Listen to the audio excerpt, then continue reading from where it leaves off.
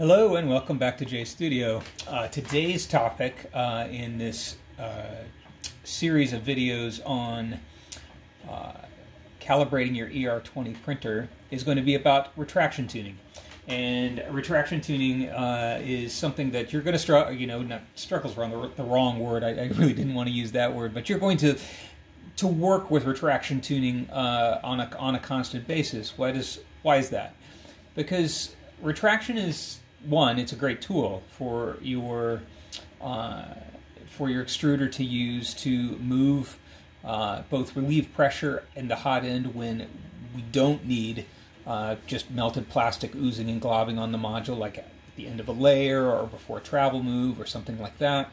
Um, and additionally, we want to tune it such that when we remove that pressure and kind of retract the filament so as not to ooze and blob, that we're also at the same time not leaving a bunch of strings and and and things all over the model. Uh, so you know this combination of either poor retraction and or not correctly dialed in temperature, uh, which is our next thing we're going to do with the the, the, the temperature tuning. But uh, these things can combine to cause you problems with stringing, especially on models with small features in which you're going to be doing a lot of like moves that are just very quick deposits of plastic and then picking up and moving somewhere else. So uh, retraction super. I hope I hope that's enough to to convince you that tuning your retraction is super important uh, when trying to get your 3D prints to look right. Um, we again are looking at Teaching Tech 3D printer calibrations pages.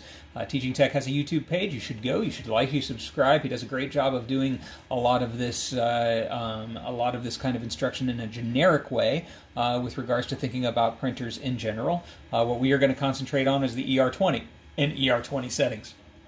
So, tuning retraction is going to require us to come into the tool and generate like we have before, and we're going to do again, we're going to uh, uh, generate a G code uh, that we're going to dump on a micro SD card and then print to see how we're doing. I tell you right now that retraction tuning is going to tune at least two variables. It's going to tune the amount of retraction, the millimeters of retraction that happen during a retraction move. So that's the amount that's pulled back, and then, or the amount that, that the extruder itself will spin its wheel back to, to kind of pull the uh, filament out uh, or relieve pressure in the hot end. And the other variable is going to be the speed that that move happens. So this will require doing at least two prints. You might find that you do more than that uh, just to be able to get yourself squared, squared away uh, knowing that you're doing the right thing. Uh, I've talked about this before, but again, I'm just going to throw it out there that here at the top, you're going to want to put your start G code uh, that you want uh, to use. I copy and paste uh, my uh, start G code from Cura for the ER20. Um, this is an official start G code that uh, Eryone puts out there. Um, I just do the whole thing uh, here just because I like the way that that start G code actually draws a priming line at the front of my print bed and gets everything ready to go before it actually starts doing the model then you would just cut and paste that right into here. You're going to need to put bed dimensions here, 250 by 220 as always. Uh, your hot end temperature. Um, I put 230 here just to make sure we have good adhesion, but then after the first layer, I'm going to sit and watch the first part of this print. Um, after the first layer, I'm going to dial it down to what I think is probably correct. And I don't think you can go wrong. Uh, we'll find out in the temperature tuning in the, in the next video how we're doing with, uh, with this, but I don't think you can go wrong just estimating either 210 or 215 as your hot end temperature uh, for PLA. Um, and just kind of put that in there. Um, like I said, I have I will dial in 230 now for the G code, but then after the first layer prints on my print bed, I will actually adjust the nozzle down to 215 for the rest of the print. Bed temperature, um, again, set it for how you want it. I put it at, for these very short prints, I'll put it at 65 to ensure that they stay adhered. Usually I would have it at 60C. Um, so here, I will change this on the part, or the, the cooling fan. What's going to happen with the cooling fan? And I'm going to say I want it to be 50% from layer 3. Why? Because cooling, especially if you have your fan on at 100%, has a way of masking retraction problems, right?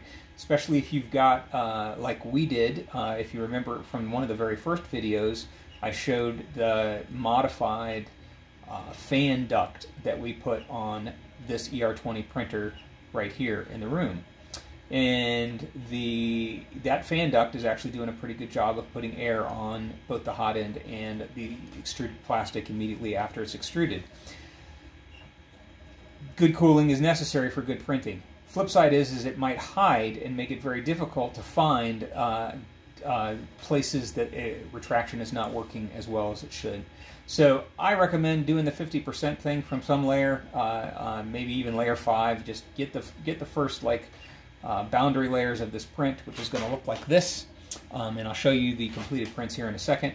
But then once it actually does the tower, you can have it on at 50%, which should keep things working all right, but also let you see where stringing is happening uh, more uh, more prolifically than other places.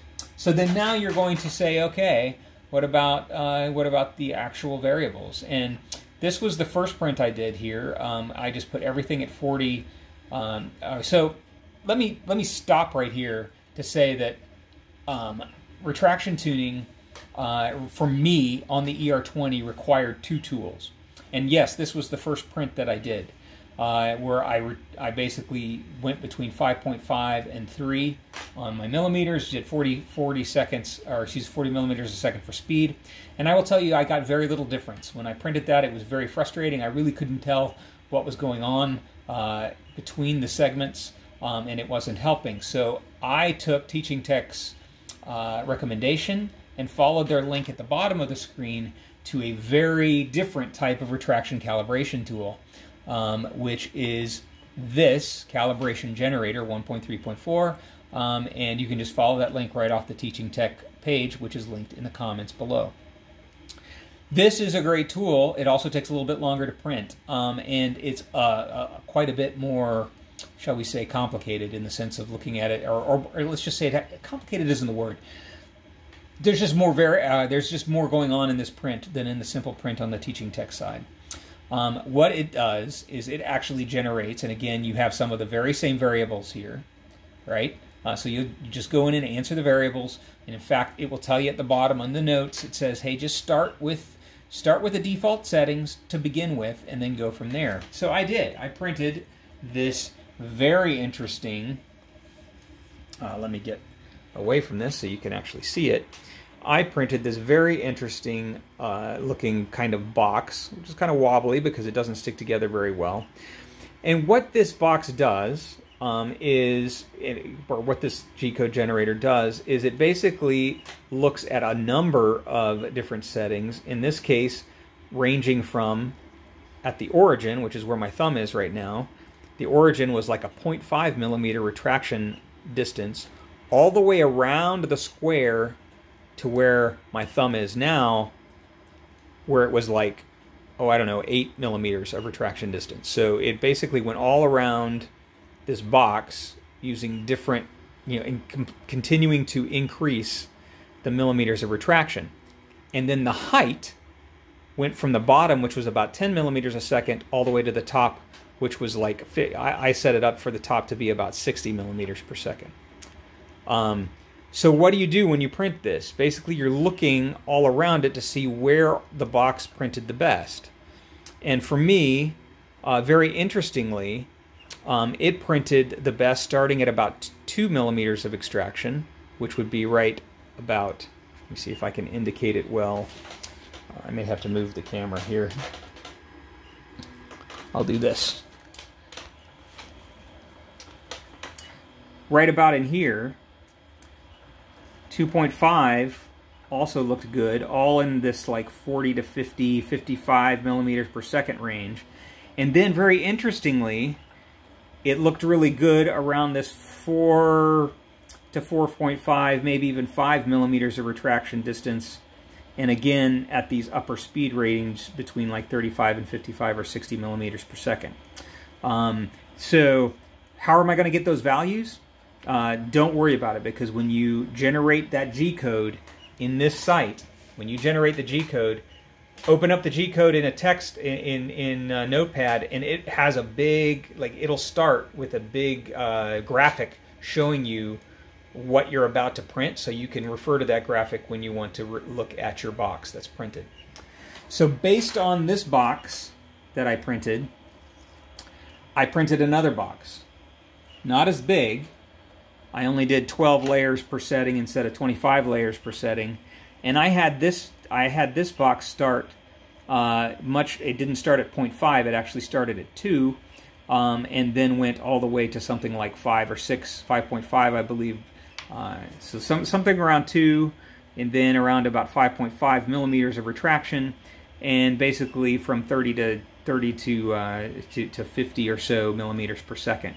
And with this, I was able to get myself in the ballpark and say, hey, I'm somewhere between three and a half and five millimeters, maybe maybe even down as low as three millimeters to five millimeters of retraction distance, and somewhere between uh, 35 and 50 millimeters per second was where this print was the best. You notice is a lot better than the original one as far as like the um, the retraction moves and the, the moves outboard of the box itself.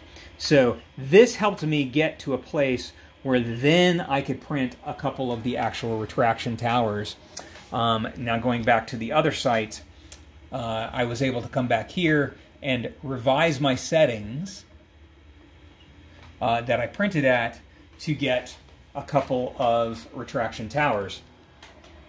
And just so that you can see, it's printing a retraction tower right now for me too. And this is for that retraction tower that's getting printed right now is post K, K Advance or Linear Advance, uh, which we will talk about in a later video.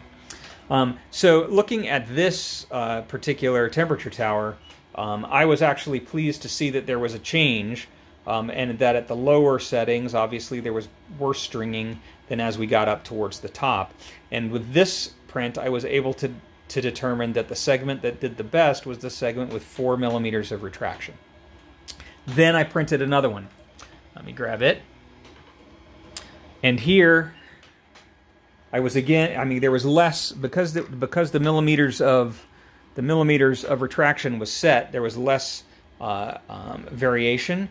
But looking closely at it, I was able, for me, to determine that the best, um, the best speed Let's see if I can get it. There we go. The best speed was the third from the top, which wound up being 45 millimeters per second.